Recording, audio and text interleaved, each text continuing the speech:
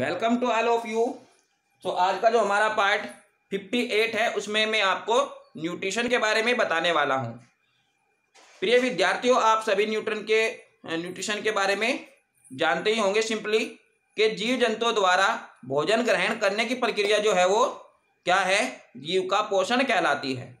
ठीक है? ये तो इसकी परिभाषा है जो बेहद आसान शब्दों में मैंने आपको यहाँ पर बता दी कि किसी भी जीव जंतुओं का जो भोजन होता है, ये जीव जंतु को भोजन ग्रहण करते हैं। जीव जंतु क्या करते हैं? भोजन ग्रहण करते हैं। तो ये क्रिया क्या कहलाएगी? पोषण कहलाएगी। ठीक है?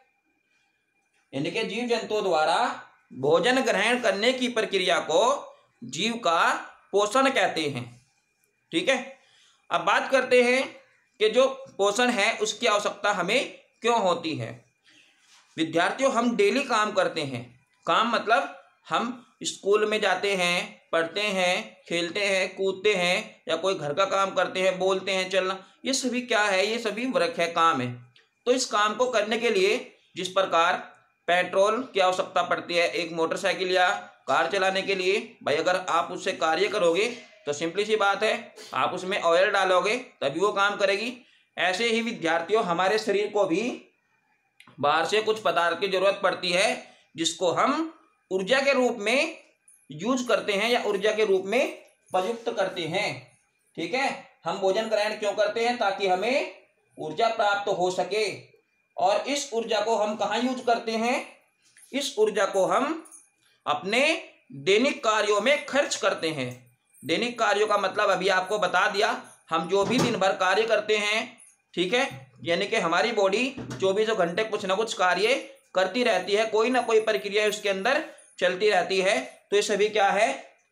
इन सभी के लिए हमें ऊर्जा की ज़रूरत पड़ती है। तो इसी ऊर्जा को हम अपने पोषण द्वारा, यानी कि भोजन के माध्यम से उपयोग में ले लेते हैं। ठीक है? अब बात करते हैं, हमारे शरीर में जो मरम्मत होती है, जो टूट फूट होती है, मान लेते हैं कहीं शरीर पर कोई पार्ट जो है क्षतिग्रस्त हो जाता है मतलब चोट लग जाती है। तो आपने देखा होगा, आप अगर धीरे धीरे मरहम पट्टी भी उस पर ना लगाओ या मरहम पट्टी लगाओ तो वो धीरे धीरे कुछ दिनों बाद जो है ठीक हो जाता है। नाइन्थ क्लास में आपने कोशिकाओं के बारे में भी पढ़ा था, ठीक है? तो ये क्या होता है धीरे धीरे धीरे धीरे नई कोशिकाओं का जो है वहाँ पर जन्म हो जाता है और सब कुछ ठीक ठाक हो जाता है कुछ दिनों ही बाद, ठीक है? तो कहने का मतलब ये है कि अगर हम अपने भोजन में प्रोटीन लेते हैं, प्रोटीन की मात्रा लेते हैं तो प्रोटीन क्या करती है हमारे शरीर के अंदर? जो शरीर में टूट फूट होती है, मरम्मत होती है, उसकी पूर्ति कर देती है। ठीक है? दो पॉइंट आपके यहाँ क्लियर है। इसके बाद बात करते हैं।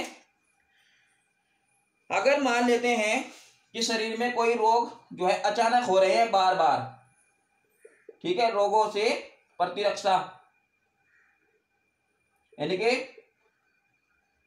जो हमारे शरीर के अंदर क्या है? इम्यूनिटी पावर है, ठीक है? यानी कि रोगों से लड़ने की शक्ति है। उसको भी पोषण के द्वारा ही नियमित बनाया जाता है। मान लीजिए विद्यार्थियों, हम अपने भोजन में ऐसे पदार्थ नहीं ले रहे हैं जिससे हमें रोगों से सुरक्षित किया जा सके, यानी कि रोगों से सुरक्षा की जा सके तो क्या होगा? धीरे धीरे धीरे धीरे हमारे शरीर में रोग अपना घर बना लेंगी, ठीक है? और रोगों से लड़ने की जो शक्ति है हमारी, वो नष्ट हो जाएगी। अगर हम अपने भोजन में उचित, यानी कि संतुलित आहार नहीं लेते हैं, ठीक है? अब बात करते हैं कि संतुलित आहार क्या होगा अब संतुलित आहार कैसा होगा? संतुलित, ठीक है? संतुलित आहार। विद्यार्थियों, आपने देखा होगा, अगर हम नूडल्स खाते हैं चाउमीन बर्गर इस तरह की चीज़ें खाते हैं। हालाँकि वो आपकी बहुत इंटरेस्टेड चीज़ है। मुझे यहाँ मने नहीं करनी चाहिए। चलिए मैं आपको मने भी नहीं करता। लेकिन आप एक बात नोट कर लीजिए विद्यार्थियों। ये जो नूडल्स इस तरह के जो प्रोडक्ट होते हैं नूडल्स होते हैं, इनका पाचन हमारे शरीर में ठीक प्रकार से नहीं हो सकता है। एग्ज़ाम्पल के लिए मान लेते हैं कि आपको कोई मशीन दी है, ठीक है? घास काटने की मशीन तो सभी के पास है तो जनरली मैं घास काटने की मशीन के बारे में आपको बता देता हूँ। अगर आप उसमें क्या करोगे, उसका जो मुँह है, उसके अंदर बहुत ज़्यादा मात्रा में घास लगा दोगे, ठीक है? यानी कि बहुत ज़्यादा मात्रा में जो है आप उसके अंदर बाजरा या चेरी डाल दोगे तो क्या होगा फंस जाएगा। यानी कि चक्का का जाम हो जाएगा। ऐसे ही सभी मशीनें होती है। तो जनरली ये क्या करती है, काम करना बंद कर देती है। फिर हम इसको क्या करते हैं, आगे पीछे करते हैं उसको बंद करते हैं, उसको पीछे निकालते हैं, है ना? तो अब जरा सोचिए कि ऐसे खाद्य पदार्थ जो हमारे शरीर में कोई फ़ायदा नहीं करने वाले हैं, हम उनको खा लेते हैं। अब वहाँ तो कोई आगे पीछे करने वाला उनको है ही नहीं। तो अब क्या करोगे? ठीक है?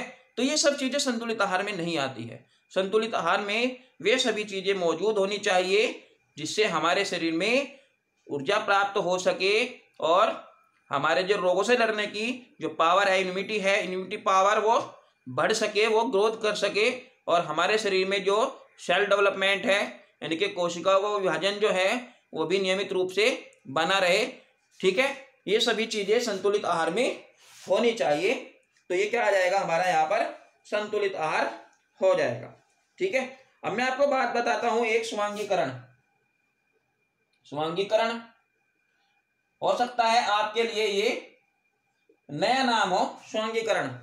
लेकिन इससे संबंधित कई बार एग्ज़ाम में पूछ लिया जाता है कि भोजन का स्वांगीकरण किसे कहते हैं?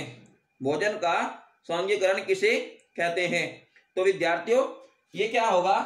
इसमें यह होगा कि जो हमारी आंत्र है, पचे हुए भोजन का क्या होना? आत्मसात होना, ठीक है? पचे हुए भोजन का आत्मसात होना ही क्या कहलाता है? स्वांगीकरण कहलाता है। एक ही लाइन में मैंने आपको इसका जवाब दे दिया, ठीक है? एग्ज़ाम में एक दो बार ये क्वेश्चन पूछा गया है कि भोजन का स्वांगीकरण है, किसे कहते हैं? तो किसे कहते हैं? पचे हुए खाद्य पदार्थों का जीव द्रव्य द्वारा क्या होना? आत्मसात होना, यानी कि अंदर ही पच जाना, क्या कहलाता है? भोजन का स्वांगीकरण कहलाता है। ठीक है? विद्यार्थियों, आपके माइंड में इससे संबंधित बहुत ज़्यादा क्वेश्चन उठ रहे होंगे कि हमारे लिए क्या चीज़ आवश्यकता आवश्यक है? ऐसे कौन से पदार्थ खाएँ कि हमें डेली ऊर्जा ठीक प्रकार से मिले? हमारे शरीर में कोई भी रोग ना आए। तो विद्यार्थी मैं आपको जानकारी दे दूँ। बीमारी चाहे कोई भी हो, ठीक है? कोई भी बीमारी हो, सभी बीमारियों का जो जो फैलने की जो प्रक्रिया होती है, वो हमारे खान पान से ही संबंधित होती है। चाहे वो शरीर में किसी भी जगह कोई भी बीमारी पनप रही हो, कोई भी जगह किसी भी पार्ट्स पर उसका निर्माण हो रहा हो। वो कहीं ना कहीं हमारे जो खाने पीने का प्रोग्राम है सिस्टम है, यानी कि जो हमारा पोषण है, उसी पर पूरी तरह डिपेंड है। और ऐसा नहीं है कि आपको नहीं पता कि क्या चीज़ खाने से हमें क्या नुकसान होगा। इस बात को सभी विद्यार्थी जनरली जानते होंगे कि हमें क्या चीज़ नहीं खानी चाहिए। ठीक है? अब बात करते हैं आपकी इच्छा की ही। कई बार आप अपनी जो इच्छा है, उसको लेकर कंफ्यूजन रहते हो। मान लो घर में करेले बन गए हैं, लौकी बन गई है है ना? या फिर इस तरह की कोई सब्ज़ी बन गई तो आप क्या करते हो? नाटक करते हो, ठीक है? नाटक करते हो, मैं ये नहीं खाता हूँ, मुझे पसंद नहीं है है ना? और अगर आपकी शिकल देखे तो बिल्कुल बंदर जैसी, ठीक है? तो हमें ऐसा नहीं करना है। अगर आपको अपनी हाइट बढ़ानी है, बढ़िया माइंड को तेज करना है, और सभी प्रकार की बीमारियों से बचकर रहना है तो भैया ये सब चीज़ें खाने में आपको कोई भी दिक्कत नहीं होनी चाहिए। उम्मीद है कि आपको कभी भी हॉस्पिटल में जाने की ज़रूरत नहीं पड़ेगी, दवाई खाने की ज़रूरत नहीं पड़ेगी। अगर आप अपने भोजन में सभी प्रकार की साग सब्जियों को शामिल करें और जो फास्ट फ़ूड है मार्केट के, उनसे बचे तो इस प्रकार अपने संतुलित आहार को आप बढ़ावा दे सकते हो। धीरे धीरे ये ज़्यादा भी दिक्कत नहीं होगी धीरे धीरे आदत पड़ जाएगी और आप रोगों से ऑटोमेटिक ही दूर रहने लगोगे। ठीक है? आपको कोई भी दिक्कत यहाँ पर नहीं होगी। तो उम्मीद है आपकी समझ में न्यूट्रिशन जो है, पोषण है, समझ में आ गया होगा। ठीक है? तो नेक्स्ट वीडियो में मैं आपको न्यूट्रिशन के प्रकारों पर चर्चा करके बताऊँगा कि न्यूट्रिशन जो है वो कितने प्रकार का होगा। यानी कि पेड़ पौधों वाला, पेड़ पौधों वाला जो न्यूट्रिशन है, उसकी भी यहाँ पर हम चर्चा करेंगे। ठीक है? प्यारे विद्यार्थी जाने से पहले मैं आपको एक बात बता देता हूँ कि कोई कई विद्यार्थियों के मेरे पास कमेंट आते हैं मैसेज आते हैं कि क्या हमें जो है लाइक क्या बोलते हैं उसको लाइक बोलते हैं तो लाइक और सब्सक्राइब करना है या नहीं करना है। भैया, ये भी बात मैं आपको बताऊँ, आपको इसमें इंटरेस्ट लेने की कोई ज़रूरत नहीं है। हम यहाँ पर यूट्यूब पर वीडियो इसलिए नहीं बना रहे हैं कि आप क्या करो सब्सक्राइब करो लाइक करो। वो आपकी इच्छा है कि करो ना करो, लेकिन आपको जो यहाँ पर बात बताई जाती है, उसको आप ज़रूर सुनकर तभी जो आपको मैं फ़ोटो देता हूँ जो पीडीएफ फ़ाइल देता हूँ, उसको आप तभी नोट करें जब तक आपको वीडियो में किसी भी टॉपिक पर पूरी तरह तसली ना हो जाए। ठीक है? तो धन्यवाद।